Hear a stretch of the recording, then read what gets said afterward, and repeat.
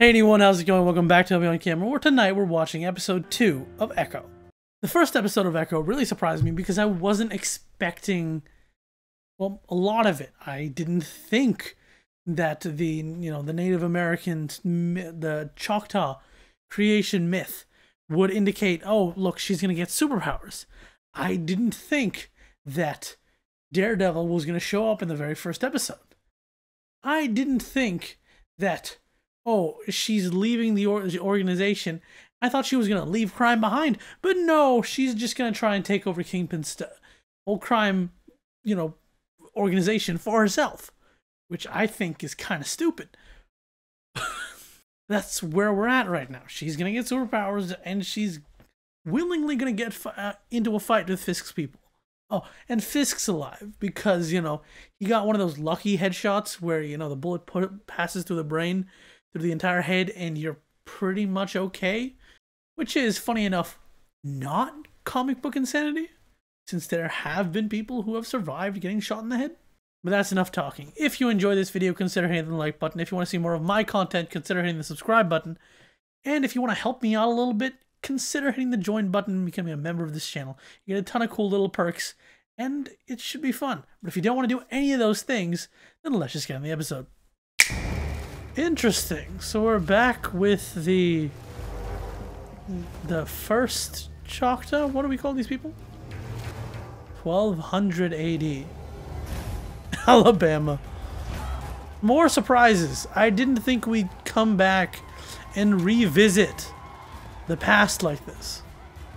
I mean, I didn't think we'd get the past in the first place, but honestly, this is really cool Native American representation because we get to see so many other cultures have like their pasts depicted. And in terms of Native Americans, we've only had their past depicted through the eyes of Europeans. Okay, so the sport looks like it's like lacrosse, but with uh, two sticks instead of one. Ah, yes. War games to be entirely honest, this is preferable to an actual war. Oh, you know, if you lose the game, your tribe gets banished, but at least it's a game and not like actual bloody battle. I'm assuming all these, at least these people in the background are actual Native Americans. Oh. So are there this is so this is Maya's ancestor and she's is learning how to activate her own superpowers. Does that mean every episode we're gonna get to see different members of Maya's ancestry activate their superpowers until Maya in the last episode?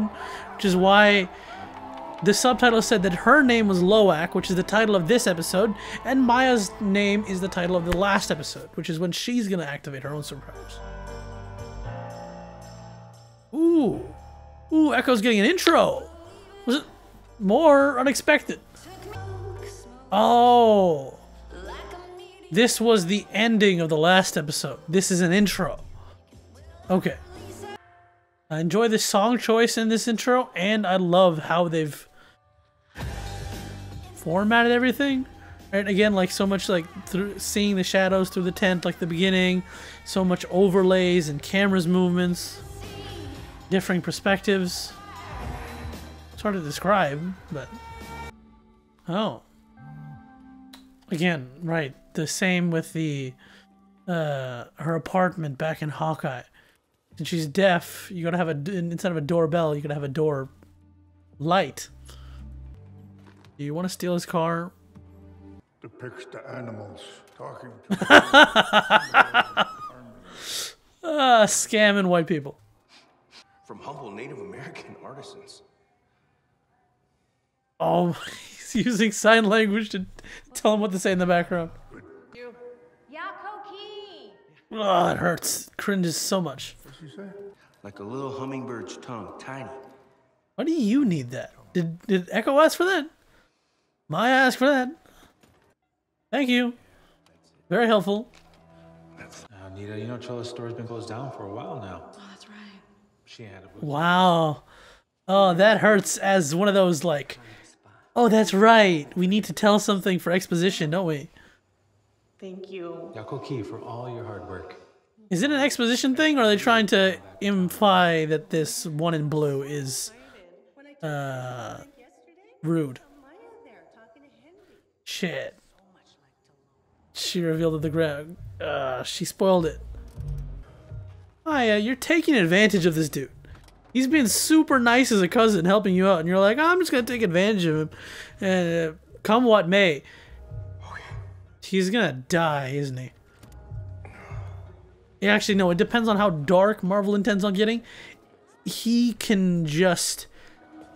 Uh, he can probably gonna get at least very heavily hurt. And do not speak in front of Malik, but he's probably gonna get hurt, very hurt because that's Marvel's thing. But if they really want to get dark, he's going to die because that's what happens to two nice people in these kind of stories. That was a long time ago. And long time ago, what do you not think? Are you not sad about your daughter dying? Why wouldn't Maya be angry, be sad about her mother dying still? Not to mention her dad has died in the time since. Just pass through town without causing any trouble. Great grandmother uh, instincts there, huh? Get the hell out of here, granddaughter. Maya, this is a really stupid decision. How do you even know the train is there? Well, fine, there's probably enough vibrations for you to feel it, but... Well... Cheers, seriously. Stupid, stupid decision. Ugh. If only you could get a, trackers that would show you live locations like that. The most frustrating thing about any trackers I use are it's constantly having to refresh, refresh, refresh, refresh, down. You can't have... What is the first movie to have one of these uh, on top of a train, gotta duck for the things, that, scenes? Like, what is the first movie to have that? What made it the cliche? It must be super hard to be stealthy as a deaf person, because you don't actually know how much noise you're making. I mean, this is a train, right? It's hard, easy to disguise the noise, but like, honestly, how do deafness and stealth go together? Was this really the best place for you to go hide? What's in here? What are you looking so hard for? So what was, ah, the picture. What was the aim here? What did you get from that box? That was so Be careful, you idiot. Oh, you... Okay. Good news, she isn't hurt. Bad news, that leg is very expensive. Ooh, superpowers. Let's go. Uh, her hands glowed. Okay, superpowers. Let's go. Are you really expecting him to be behind the train? What, what are you doing? What are you using to... Oh, she's creating sparks to draw a signal. Okay. But I mean, you're a tough woman. Couldn't you just, like, jump off the tracks? Girl, jump! You're gonna be fine. Oh. What, what did you steal? Don't BS me. What'd you steal? Don't smile. Don't BS him. He just came with you and did this without a care in the world. Alright, it's arrived. Maybe we can find out what's gone. Problem is, it's not in there. D9X. Oh. Oh, you... Okay, fine. You didn't lie. You planted a bomb. Oh, God. Echo, you are stupid, and selfish, and I really hope you understand that once uh, once that biscuits guy kid dies. That guy's get guy's dead. Yo, don't kill the dog though. Mouths shut. Yep, he knows the D9X is the fix is Fisk's box. Caught in something. I mean, she's not lying. She did get that caught in something. What? What is that foot? Show me the picture. Are they really? Come on, she made a special order fancy new leg and they're gonna hide it from us for a couple episodes? Come on, Maya. Chill out a little bit. Man's a handyman in himself if he can make a, a brand new leg out of, of a bike. I mean, people play so much money for these things to to fit properly and work properly, and uh, he's just building one, and it'll just work. And especially, it'll work well for someone who's kicking, who's doing insane stunts and kicking butt. Take uh, time. Oh, so it really is a lot like Daredevil. but we're gonna save the real reveal for later. I was I was confused that like, hey, they're just giving he's just giving him the leg, giving the leg. Ah, the proper leg's gonna come later. Look, a creaking leg is only gonna make it even more suspicious. In times of need. Yeah, and that's stuff something she definitely needs to learn how to do. I wasn't thinking about it before, but the reason she's avoiding the grandma is because she blames her for having to leave. That is not how you do that. That is not how you. So generous to that boy. You are. Just admire you know. You, you shut up, woman. I really don't like you. Who are you again? A good one. What, what was the trouble? No trouble No trouble at all. Just avoiding talking about your cousin's sister. Oh, you said her name, idiot. Maya? Yeah, they don't care. They don't give two shits about your little revenge I want to take over thing.